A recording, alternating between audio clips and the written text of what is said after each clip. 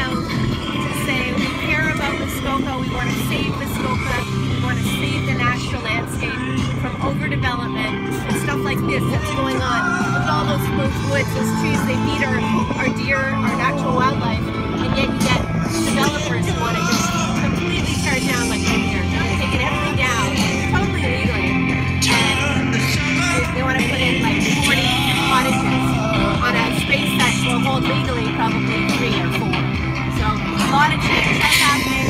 lot of people out here want to change, fed up with councilors and mayors who give in to developers. It's time to do something, to we've come together to show that we care.